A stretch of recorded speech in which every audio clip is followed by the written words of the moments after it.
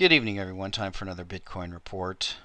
With the news about the NSA and Edward Snowden and a lot of questions swirling about, especially about this subject of cryptography and spying, I wanted to dig a little bit deeper into that and maybe do kind of a basic explanation for people who don't really understand this stuff. I'm not an expert at all hopefully I can make it more understandable. So let's start off with Jeffrey Tucker's story. When NSA whistleblower er-, Edward Snowden wanted to talk to reporter Glenn Greenwald, he insisted that they use encrypted chat. Unfortunately, Greenwald didn't know how to go about setting that up. In fact, he needed a tutorial in how to do it. Indeed, many people do. I was looking at the download figures of various encryption programs, and they are not impressive about 52,000 for one popular program. Apparently, this approach to securing conversations is far from mainstream. Why should anyone bother? Encrypted chat is like the cone of silence in the Get Smart series, except that it actually works.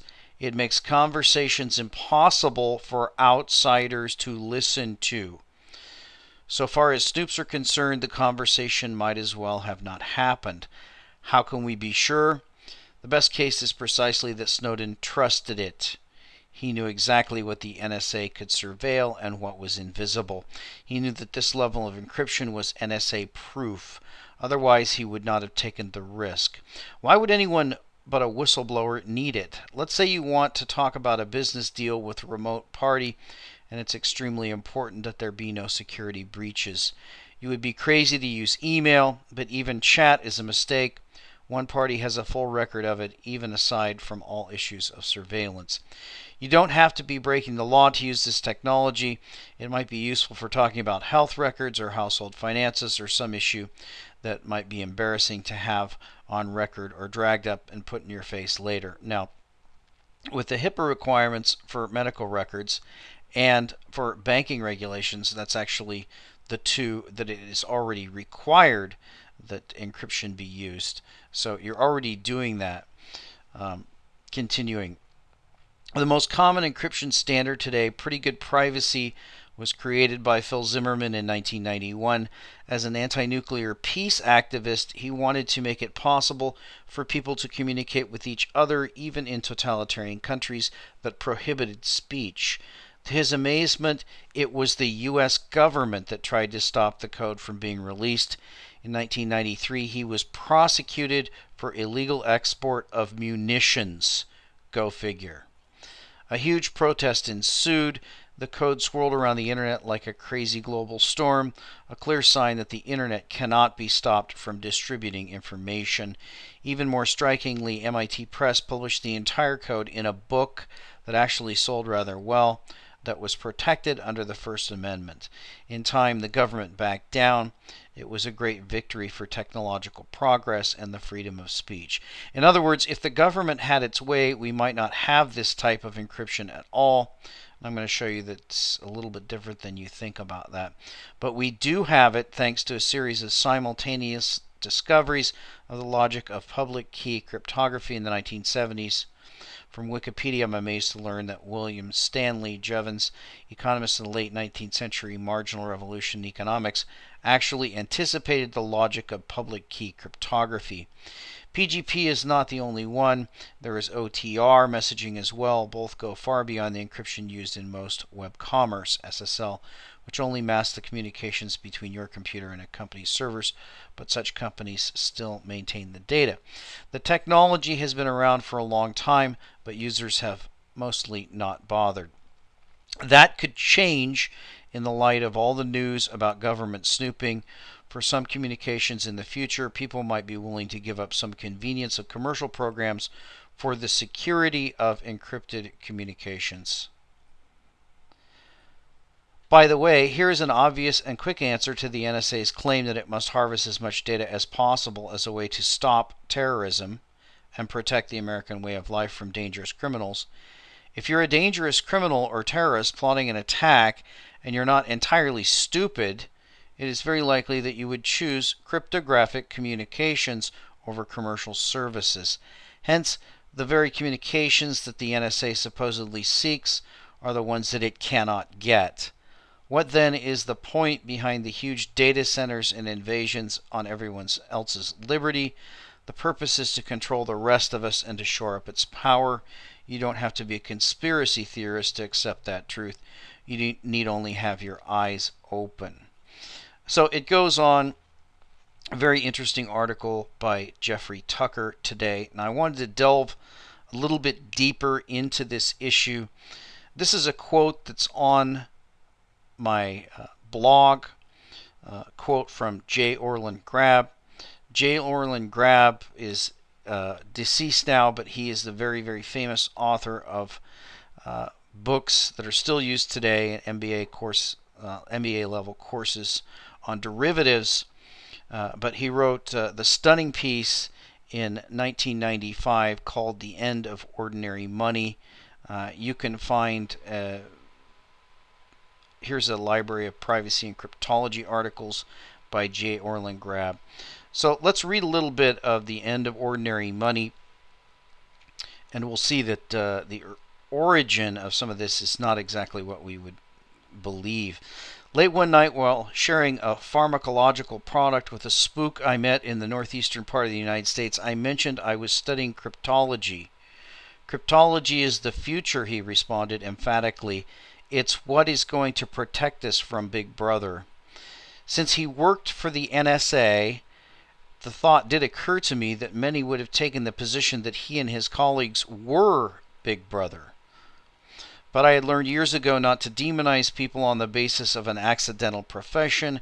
After all, if an ex CIA employee like Kerry Thornley could become a staunch libertarian, the creator of Zenarchy and implied co author of the Erisian holy book Principia Discordia, then there was hope for all of us. I additionally believed that one of our best defenses against the national security state was the perennial proclivity of clandestine organizations to piss off their own employees.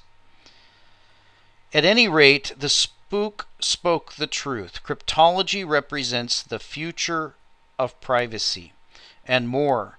By implication, cryptology also represents the future of money. So he saw the Bitcoin back in 1995 and the future of banking and finance. By money, I mean the medium of exchange, the institutional mechanisms for making transactions, whether by cash, check, debit card, or other electronic transfer. Given the choice between intersecting with a monetary system that leaves a detailed electronic trail of all one's financial activities and a parallel system that ensures anonymity and privacy, people will opt for the latter. Moreover, they will demand the latter because the current monetary system is being turned into the principal instrument of surveillance and control by tyrannical elements in Western governments. That's what we're seeing coming out right now. These elements all want to know where your money comes from and when and how you spend it. After all, you might be a terrorist, drug dealer, or spy. And if you try to hide your transactions, you are by definition a money launderer and perhaps a child pornographer. Say what? To understand this quaint accus- accusatorial juxtaposition, one only has to grasp a few simple facts. Money is digital information. The way to hide digital information is through cryptography. The government doesn't want you using cryptography because they want to know where your money is so they can get some of it. And they don't like you using drugs unless the government is the dealer or viewing child pornography unless the government supplies it because it's setting you up for blackmail or smear campaign. Okay, I'll admit it, I like privacy. I often send mail inside sealed envelopes and sometimes close the door when I go to the bathroom. Take drugs, nothing like a cup of espresso in the morning, and don't like to pay taxes but doesn't H&R Block make a living off this same popular sentiment? I don't know much about child pornography, etc., so I'm not going to go into that. But it's uh, very, very long and detailed, goes into the war on drugs, goes into the SWIFT system, goes into cryptography, the NSA, and uh, it's an unbelievable article, again, written in 1995 by J. Orlin Grabbe. So, clearly a visionary, and his source was someone in the NSA. So the Snowden stuff goes way back. Now, I wanted to jump over to a story that hit recently. This is a news story about the IRS. This one kind of was under the radar.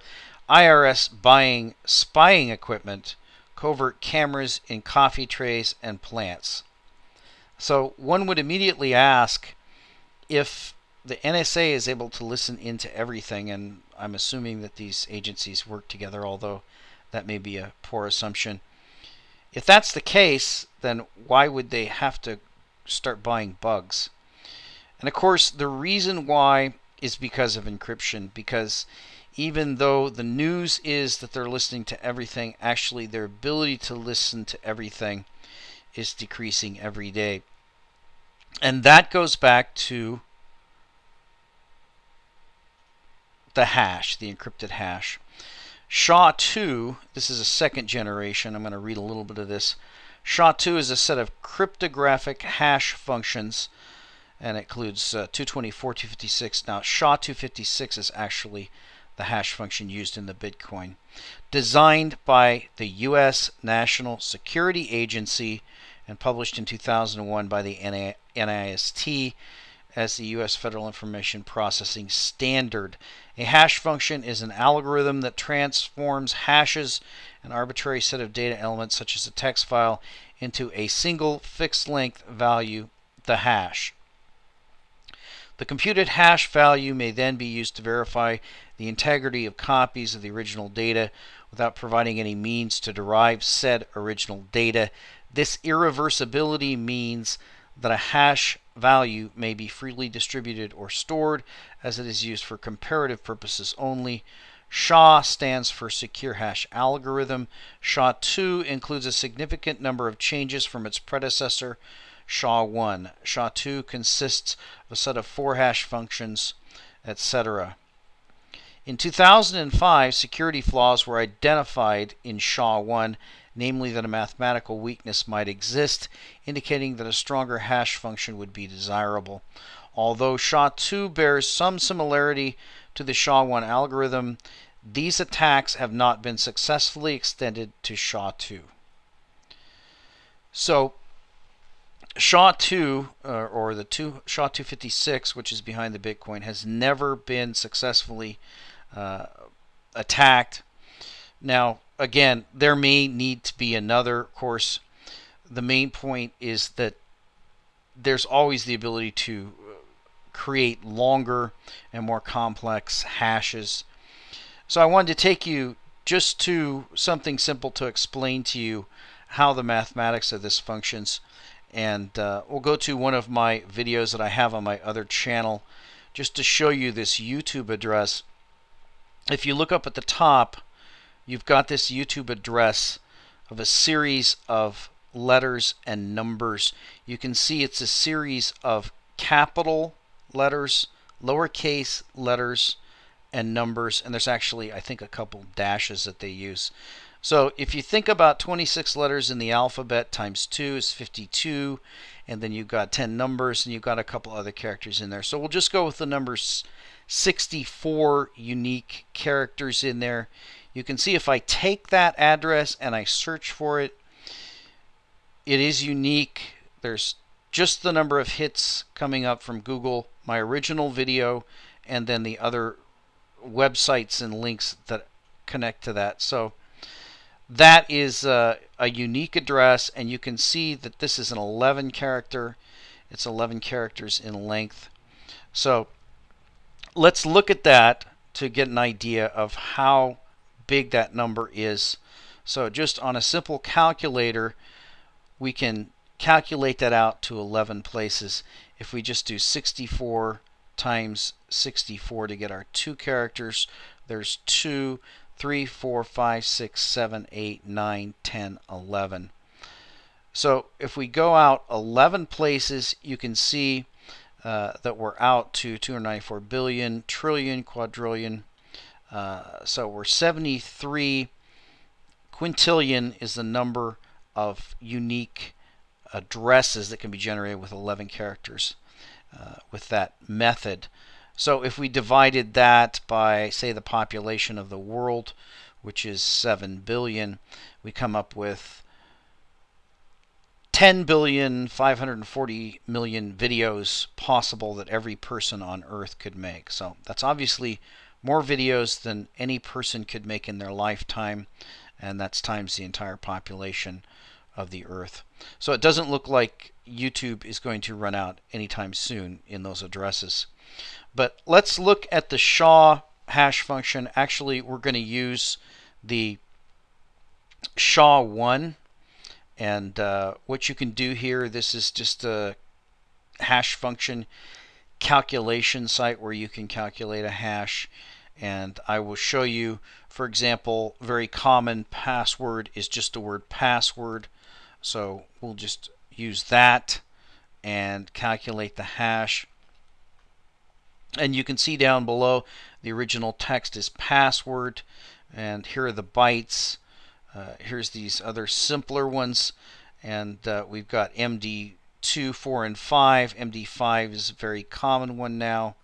Then there's a ripe series. Here's SHA-1, and you can see SHA-256, SHA-384, and there's SHA-512. So there's obviously further to go if it's needed.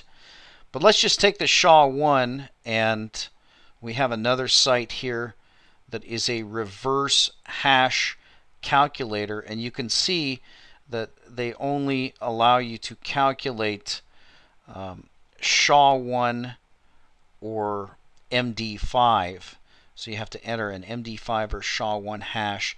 We'll put that hash in this box and click submit. Basically it's uh, doing something similar to what you do when you try to solve the Bitcoin. And you can see now with the computing power that we have and using SHA-1, it solved that and it found out that it is password. So obviously, as the computing power grows, the ability to solve these grows. But then again, uh, the people who are creating the uh, hashes and the encryption are always light years ahead of the people trying to break them. Uh, because it takes so much more computational power to break them as opposed to create them. So that's why cryptography is such a big deal. I believe that's why we're seeing it in the news today, and uh, it's not what it appears to be. Uh, actually, it may turn out that the NSA are the good guys. Um, at least certain groups of people in the NSA, certainly perhaps the gentleman that J. Orlin Grabbe spoke to, who believed that cryptography is what is going to protect us from Big Brother.